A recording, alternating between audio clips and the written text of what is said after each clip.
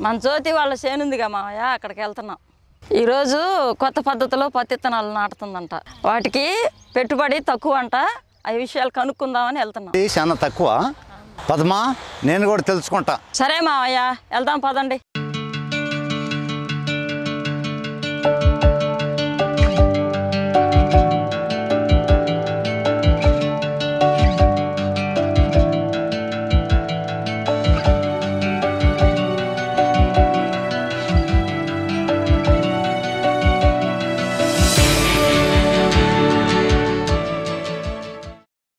జ్యోతి.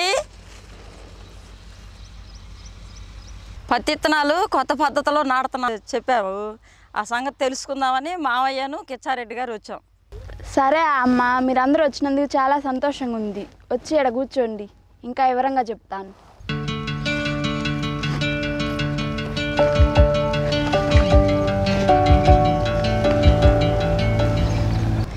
గత రెండు సంవత్సరాల నుంచి పత్తి ప్రకృతి వ్యవసాయంలో సాగు చేస్తున్నా. ప్రకృతి వ్యవసాయం అంటే ఏంటమ్మా?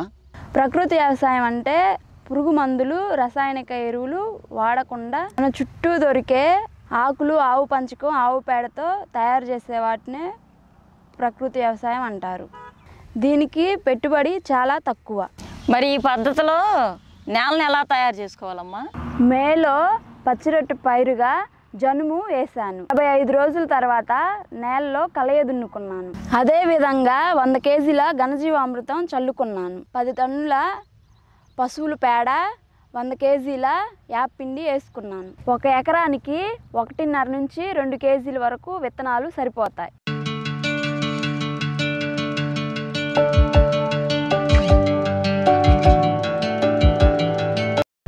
మొదటిగా ఈ విత్తనాలని బీజామృతంలో శుద్ధి చేసుకున్నాను.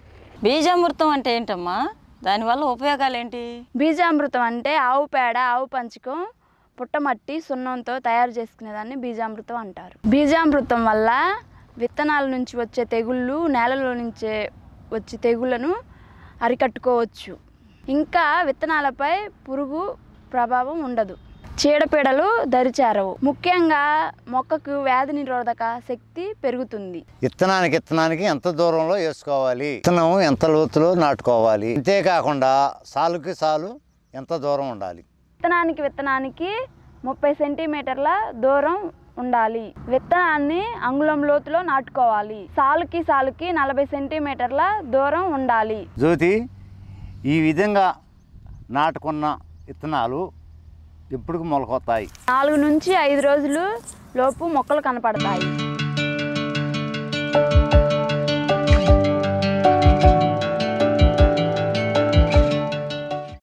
మా చేల్లో విత్తనాలు నాటుతున్నారు. చూద్దాం పాండి.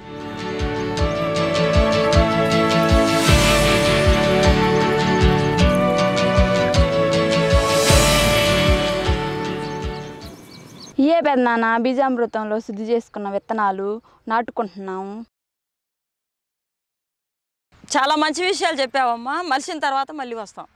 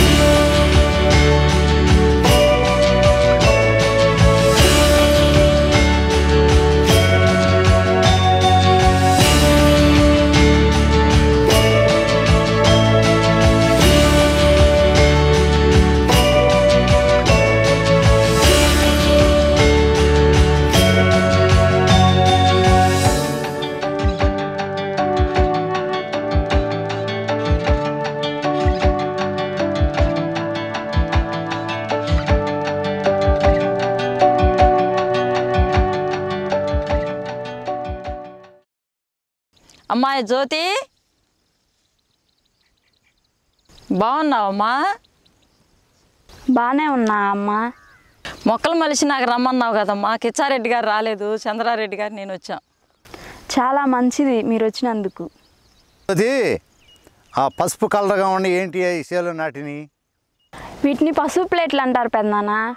ఈ ప్లేట్లకి జిగురు పూసి ఉండడం వల్ల పచ్చదోమ తెల్లదోమ రెక్క పురుగులు అంటుకుంటాయి పెద్దనాన్న. ఉమ్, దోమను నివారించుకోవచ్చు. ఈ ఎకరానికి పది నుంచి పన్నెండు ప్లేట్లు పెట్టుకోవచ్చు. ఏంటి అమ్మ తెల్లయ్య అక్కడ పెట్టారు? వీటిని లింగాకర్షణ బుట్టలు అంటారు. వీటి వల్ల ఉపయోగాలు ఏంటమ్మా? దీంట్లో ఆడ పురుగు లూరిన్ ఉండడం వల్ల మగ పురుగులన్నీ ఆకర్షించి వచ్చి బుట్టలో పడతాయి. మగ పురుగులన్నీ దీంట్లో పడడం వల్ల పురుగుల ఉత్పత్తి తగ్గిపోతుంది. వీటిని ఎకరానికి పది నుంచి పదిహేను వరకు పెట్టుకోవచ్చు. జ్యోతి ఈ కాకుండా ఇంకేమన్నా పెట్టావా? ఇవే కాకుండా పక్షి స్థావరాలు కూడా పెట్టుకున్నా పెదనాన్న. జ్యోతి వీటి వల్ల ఉపయోగాలు ఏంటి ఈ పక్షి తావరం ఉండడం వల్ల పక్షులు వచ్చి దీని మీద వాలడం వల్ల మన చేల్లో ఉన్న పెద్ద పెద్ద పురుగులన్నీ తినేస్తాయి. అందువల్ల చేల్లో ఉన్న పురుగు వృద్ధి తగ్గిపోతుంది. వీటిని ఎకరానికి పది నుంచి పదిహేను వరకు పెట్టుకోవచ్చు.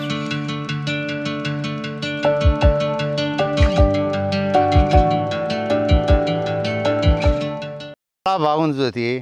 ఏమేమి చేస్తున్నావు? నా చేను ఇంత బాగా ఉండడానికి కారణం చుట్టూ రక్షక పంటగా కంది వేసుకున్నాను.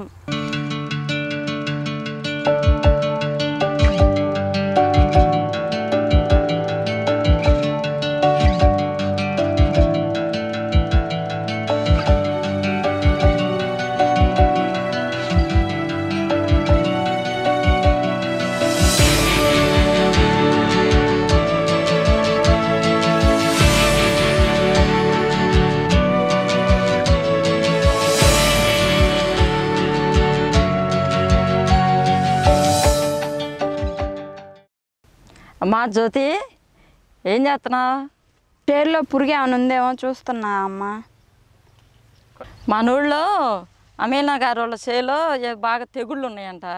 ఆ తెగుళ్ళకి అది ఏమి చేయాలో తెలుసుకుందామని వచ్చారు. చాలా మంచిదండి మీరు వచ్చినందుకు. ఎలా ఉందమ్మా మీ చేను? మా చేలో తెల్లదోమ పచ్చదోమ ఉందండి. మొక్క పెరుగుదల లేదండి. ఆకులన్నీ ముడుచుకుపోయాయి. ఏం చేయాలో అర్థం కావటం లేదండి. మా చేల్లో కూడా మొదట ఇంతే దోమ ఉందమ్మా నేను రెండు లీటర్లు నీమాస్త్రమను యాప గింజల కషాయం కొట్టాము తెల్లదోమ పచ్చదోమ నివారించబడింది. తర్వాత చెట్టు పెరుగుదల బాగుంది. జ్యోతి పత్తి ఎదుగుదల బాగుంది. ఏమే ఎరువు వాడిను విత్తనాలు నాటిన ముప్పై రోజులకి ద్రవజీవామృతం పాదుల దగ్గర పోసుకున్నా. అరవై రోజులకు ఒకసారి పోసుకున్నా మళ్ళీ తొంభై రోజులకు ఒకసారి పోసా పాదుల దగ్గర. అందుకని మొక్క పెరుగుదల బాగుంది. అంతేకాకుండా ప్రతి పదిహేను రోజులకు ఒకసారి ద్రవజీవామృతాన్ని పిచికారీ చేశాను. జ్యోతి పూత కాయ రావడానికి ఏం వాడావు? పూత పింద బాగా రావటానికి ఎకరానికి మూడు లీటర్లు పంచగవ్యాన్ని పిచికారీ చేసుకున్నాను. కోడిగుడ్డు నిమ్మరసం ద్రవం కూడా పిచికారీ చేశాను. రసం పీల్చే పురుగు లద్దె పురుగు శనగపచ్చ పురుగు మూడు తగులుతున్నాయి చేలో. వాటికి ఏం వాడుతున్నావు? బ్రహ్మాస్త్రం పిచికారీ చేశాను. అంతేకాకుండా పచ్చిమిర్చి వెల్లుల్లి ద్రావణం కూడా పిచికారీ చేశాను. ఆకుమచ్చ కాయమచ్చ చేలో ఎక్కువగా ఉంటుందండి. ఏం వాడారు? పేడ మూత్రం ఇంగువ ద్రావణం పిచికారీ చేశాను. అంతేకాకుండా పుల్లటి మజ్జిగ పిచికారీ చేశాను. అందువల్ల మాకు మచ్చ కాయ మచ్చ లేకుండా పోయింది. జ్యోతి గులాబీ రంగు పురుగు ఎక్కువగా ఉంది మా చేలో. దానికి ఏం వాడావు?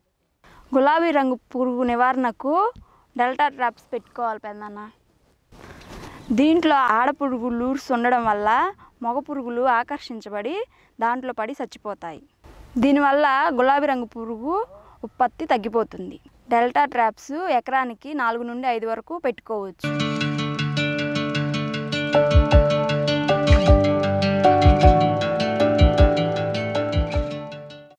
ఈ పత్తిలో పత్తి కాకుండా ఇంకేమైనా పండించుకోవచ్చా అండి ఈ పత్తిలో అంతర పంటగా కంది వేసుకున్నాను. అంతేకాకుండా మునగ పసుపు సోయా కూడా వేసుకోవచ్చు. ఈ అంతర పంటల వల్ల ఉపయోగాలు ఎలా ఉంటాయండి? ఈ అంతర పంటల వల్ల అధిక ఆదాయం కూడా వస్తుంది. పత్తిలో అంతర పంటగా పప్పు దినుసులు పంట వేసుకుంటే ప్రధాన పంటకి నత్రజని బాగా అందుతుంది. అంతేకాకుండా మిత్ర పురుగులకి ఆశ్రయం కలిగిస్తుంది. పెసర మినుము ధనియాలు మెంతికూర కూడా వేసుకోవచ్చు. పెసర మినుము కాయ కోసిన తర్వాత పత్తికి మంచి ఇంకా కూడా ఉపయోగపడుతుంది.